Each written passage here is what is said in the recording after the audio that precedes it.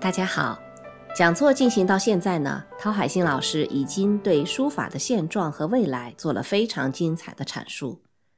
我想很多朋友也希望能够借此机会一睹陶老师的经典佳作，他的一些被拍卖、被收藏的书法艺术精品。接下来呢，陶海星老师就将为大家展示一部分他的代表作品，让我们一起期待。我把我的一些作品在这个屏幕上介绍一下。做一个跟大家一个直观的讲讲解，就是演示吧。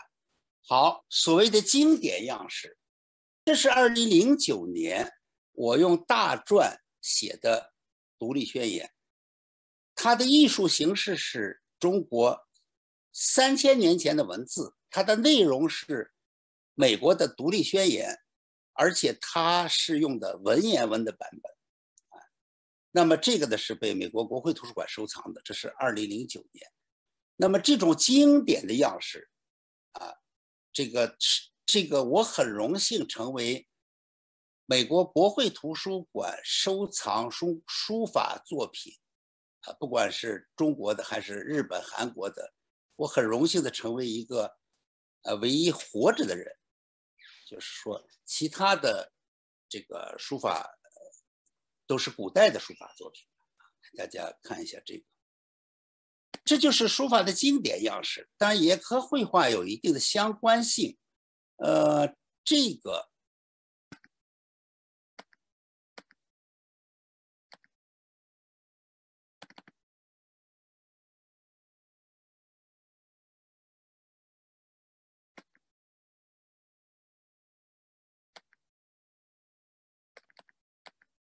哎，我这这么放不开了。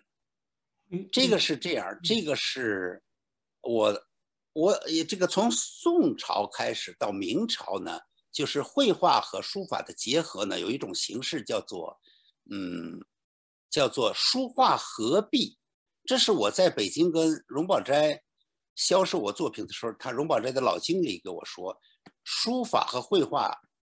这种高度结合的这种性质，到了明朝以后就逐步就少了。你能不能探索一下？所以我呢，啊，后来这幅作品是诸葛亮的《出师表》，这是挂在呃上一任中国政府总理的办公室的，啊，他是呃邀请我给他画一个诸葛亮。这个是局部，上边还有很长的一段用大篆写的《出师表》啊，这是一个传统的经典的方法，就是说把这个什么，把这个绘画和书法在一块结合这种形式的探索，还还有两幅，我也给大家介绍一下。这是。呃，中国民众最喜欢的《心经》和观世音菩萨的这种书画合璧的这样一种作品，这个是在呃保利拍卖的，嗯，啊，这是白居易的《琵琶行》，这是传统的仕女作品和书法和后边是行书的这个作品，这是我在呃传统意义上。在用用用荣宝斋那老总的话来说，你在恢复宋朝到明朝以来的一种传统，这是一种经典的，我说经典的一种探索。那么，再后来呢，我对这个绘画性的和书法结合的探索，这个算一个一个。我在这个洛杉矶一直在做一个生肖展，每年生肖一些作品，这个是叫做五福临门图。画了五个小鸡，五福临门。我直接把，我直接把甲骨文的“门”字写到这儿，啊，从形式上是一种绘画和书法的结合，这是一些初步的探索吧，啊，这个也是还蛮受大家喜欢的。同样的作品有一个，啊，看一下这幅。这也是我那个生肖鸡年的作品，这个是这个叫做“六顺通达，鸡年吉祥，八个字像对联一样，但是画了六个水墨小鸡，在这个像这个是受什么启发呢？受那个呃是那个汉汉代那个乾陵那边那个墓，汉代的时候那些大的石雕的群像。人走过去以后，就是一种感觉。人在很大的石人石马中间走。我是画了水墨的六个小鸡和这个钟鼎文的字放到一块儿啊。这个是上海的一个收藏家去收藏了，他们比较喜欢。就是说我我是在讲有没有一种可能性，就是能不能我们有一种可能性在探索。呃，书法不一定就一定要写成白纸黑字，啊，这个是也是在寻找绘画性表达。江山如画，江山如画，我写出来以后呢，我突然想到那个地质的等高线，就是从卫星上往下看，山都是一层一层的，海也是一层一层的，所以我把江山如画的背景就处理成了。卫星上俯瞰下来的等高线，啊，所以这个作品，然后呢，书法是要盖印的，我把那个红印嵌在了我的名字里边了，所以就是说，书法的原传统元素在在，而且我仍然在表达汉字，所以这是一种，也可以说是一种摸索吧，啊，摸索。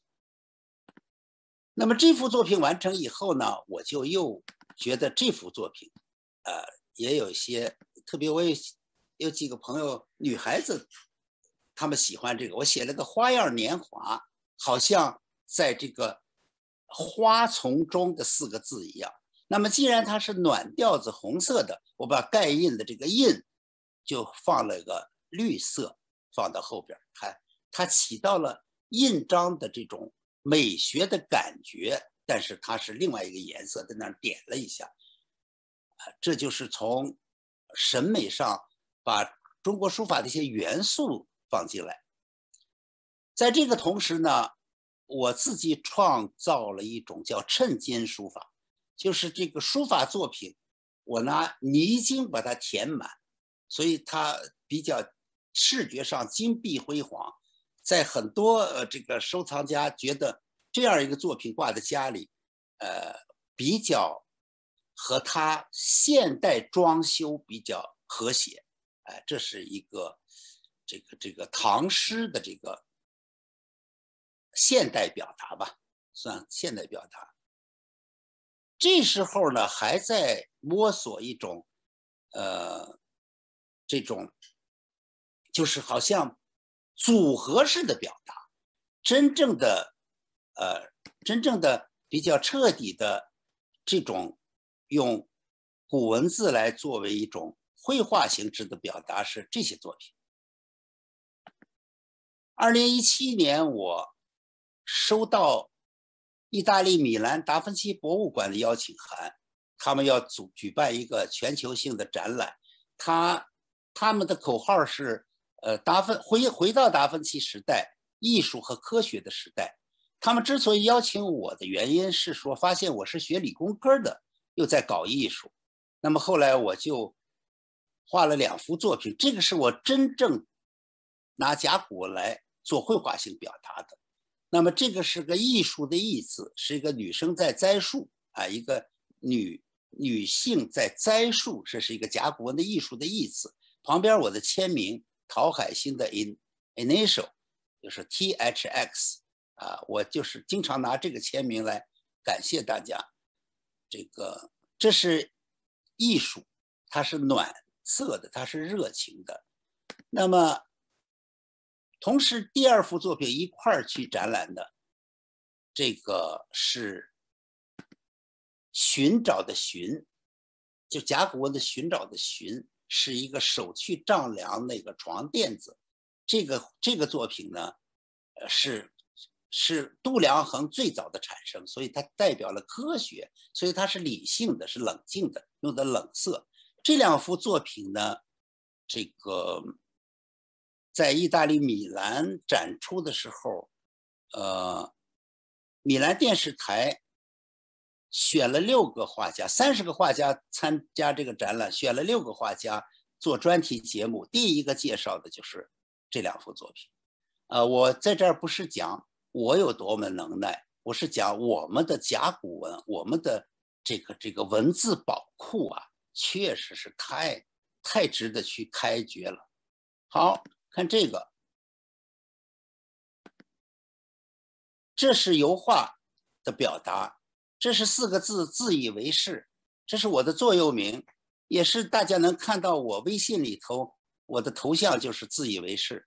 这个是这样的，这个是我上小学的三年级的时候，老师在语文老师念错字了，我就不知深浅的举手说：“老师，你读错了。”老师大怒，说：“陶海鑫，你这个孩子最大的毛病就是自以为是。”所以，我后来。一直到工作多年，就努力的要克服这个自以为是的缺点。后来我觉得搞艺术了，那就得自以为是，所以我把这个字用油画的方式写出来，成了我的一个座右铭了。这个叫自以为是，中间有这么一个小故事跟大家分享。好，那么这些作品我叫做红墙系列啊，都是在探索这个一种现代方式的表达。啊，这个是龙马精神四个甲骨文，它通过这种构成学的原理，使得画面里头成为一种线条的表达，啊，就是书法的这种美学放到油画里边能不能成立？这是一种实验，啊，这类作品我叫红墙系列，这个在这个欧美的收藏家中，呃，这个收藏家中呢非常受欢迎。他们不太，他们不认识中文，但是他们喜欢。啊，这是这个作品。好，下来讲一个这个和某些商业上的一些试验。这个，这是我把我在好多年前，呃，国内有个出版社出了一本书，呃，他这个生肖我给他写了十二个字。后来呢，有一个企业家看上以后。把我这十二个字呢拿来，现在做了一个，这叫我叫做，它叫做版权的这个版权的合作吧，这个这个现在呢，这是我在电脑里做完的东西。那么它这个应用在哪儿了呢？我给大家看一下，这这是在 Amazon 上现在能买到的它的一种新产品，彩色的。刀什么面包刀啊，什么各种刀，呃，有些收藏的人挺喜欢。他通过那个表可以找见自己是哪一年生的，属什么。啊，一共十二把刀，这是他那个他们做的广告。这个是我从 Amazon 上的截图，啊，都是一种尝试啊，也是呃，据说有些老美喜欢这这个刀的系列。我觉得这样的话也是让他们了解我们的。汉字书法和艺术，也算也算有点有有比较有意义的一个事情，就是作为一种给大家呃汇报和分享我的一些想法和在艺术上的一种探索。我主要总结性的呢想说三句话。第一句话是说，这个汉字书法是老祖宗留下来的一个艺术的宝贝。一种非常好的艺术形式，甚至可以说艺术形式里头的这个皇冠上的明珠，有人这么称它，因为它就是很简单，拿线条来表达汉字、表达情感的，这是一个特别美好的一个呃这么一一种艺术实践啊，值得我们去学习和弘扬。这是一句话。第二句话呢，就是说。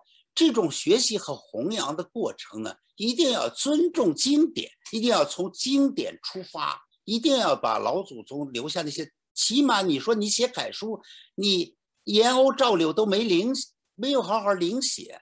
那么从甲骨文到呃这个呃经文、大篆、小篆、隶书、楷书、行书、草书，你都没有一个综合的学习，你怎么表达啊？所以一定要。呃，经常性的、刻苦的去练习，就像这个，就像唱戏的吊嗓子、武生压腿、体操运运动员天天翻跟头，要这么去练习，才能把这个技术拿到手。